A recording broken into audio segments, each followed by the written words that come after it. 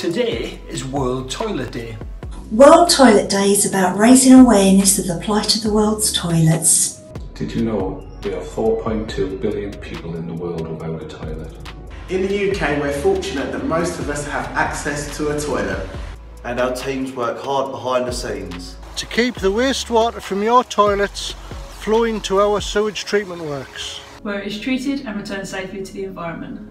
So, next time you're sitting on the toilet, think about the people who don't have one.